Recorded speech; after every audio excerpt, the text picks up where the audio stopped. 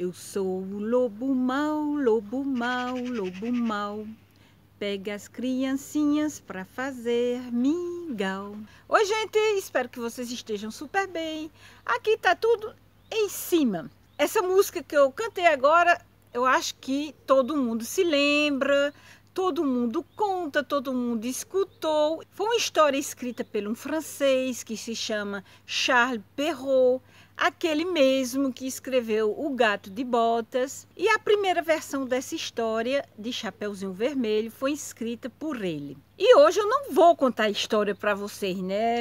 Seria muito besta de ficar aqui contando uma historinha para vocês. Mas não, eu vou contar a moral da história. É super interessante, gente, saber a moral das histórias. Porque os autores escrevem essas historinhas de criança. Tá? Eu vou contar para vocês mas antes, eu gostaria tanto que vocês se inscrevessem no meu canal. Tem 97 pessoas. Eu quero que com essa história chegue a 100, porque quando a gente chegar a 300, vocês vão ter aquele presentinho, o sorteio que está no canal. Vocês vão lá naquele filme que tem escrito sorteio, se inscrevam, façam o comentário e daqui a pouco, quando a gente tiver 300 pessoas, vocês vão ganhar os 30 euros que eu prometi. Chapeuzinho Vermelho é uma história bem naiva, né? Que na primeira versão ela terminou mal. Porque na, na primeira versão de Charles Perrault, o lobo come a menininha e pronto, acabou. O, fim é esse. Quer dizer que a moral, o bom quando tem uma moral é que o, os bons é, ganhem e sejam vitoriosos, né?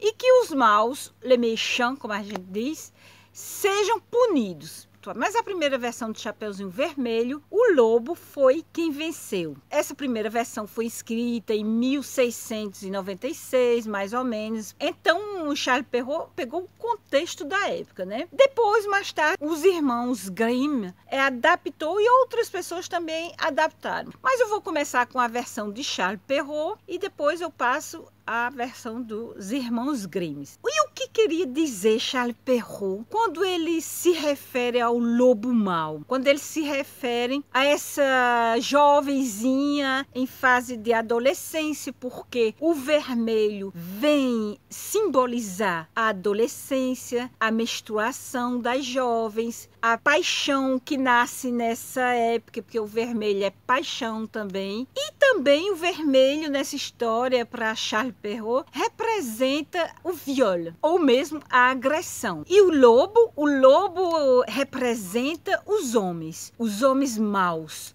Né? Porque todo, todo lobo não é mau e todo homem também não é mau. Deixamos o feminismo de lado nessa história, mas vamos falar da história contextualizada. E Charles Perrault, ele queria mostrar o perigo que a, a, essas jovens correm quando elas facilitam na vida, ficam só, quando essas, essas jovenzinhas vão em lugares ermos, sozinhas, elas correm um perigo. Mas mesmo em casa, não precisa sair, mas mesmo em casa, elas estão correndo perigo. Tem lobo mal mesmo de casa. Essa história pode até ser contextualizada nos dias de hoje, né, gente? Com o incesto e etc. E quando eu digo dentro de casa, eu quero dizer que o perigo estava na casa da vovozinha. E para Charles Perrault, quanto mais o lobo é gentil, mais é lá que, a, a, que mora o perigo. Vocês se lembram na história? Chapeuzinho Vermelho pergunta: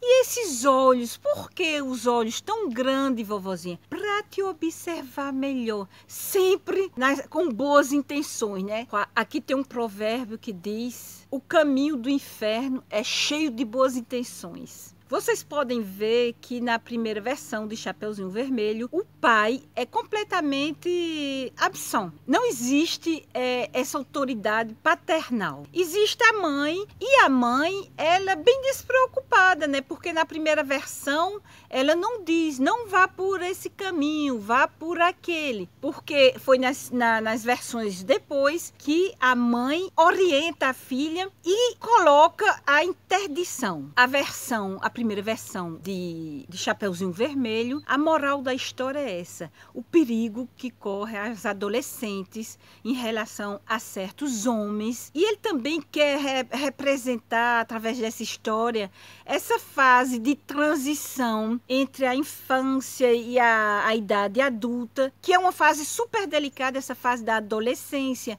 onde aparecem os primeiros amores, onde aparecem as primeiras pulsões, onde aparece essa vontade de independência, de liberdade. Aí agora eu vou falar dos irmãos Grimm. Os irmãos Grimm, eles deram outra versão, outra moral, onde a história se termina bem, porque entra a autoridade, o símbolo paternal, que é esse caçador que vem salvar, abrir a barriga do lobo e tirar a vovozinha e tirar Chapeuzinho Vermelho ainda vivas. E nessa versão dos irmãos Grimm, a moral finalmente é que o perigo existe, mas a justiça também existe. E nessa versão, tudo termina bem, como toda história infantil. A vovozinha é salva, Chapeuzinho Vermelho é salva e elas foram felizes para sempre. Chapeuzinho bem obediente, a, a vovozinha que representa o símbolo maternal, sempre se ocupando de, de Chapeuzinho Vermelho, fazendo os, os deliciosos bolos, os deliciosos docinhos.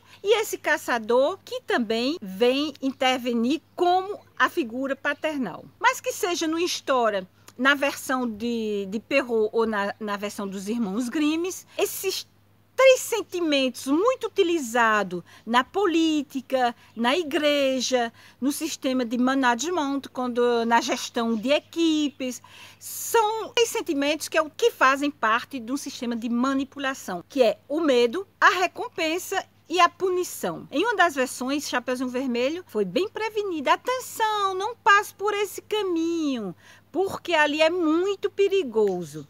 E o que é que acontece? Chapeuzinho Vermelho. Ela toma todo o seu tempo comendo os bolinhos que a mamãe fez para a vovozinha. E além do mais, ela desobedece, ela segue o caminho que ela quer. Ela procura a liberdade, essa coisa que quando a gente começa a ser adolescente, a gente começa a procurar, né? A liberdade, desobedecer o pai, desobedecer a mãe o medo, a recompensa e a punição são sentimentos utilizados na, nas duas versões, né? Porque são esses sentimentos são sentimentos que nos regime totalitário, de, é, na ditadura, porque fazendo medo é ameaçando de punição e de recompensa aqueles que querem desobedecer, que querem ser livres e etc, né? Essa é a moral da história de Chapeuzinho Vermelho. Daqui a pouco eu estou voltando com outras curiosidades. Um bisu, tchau!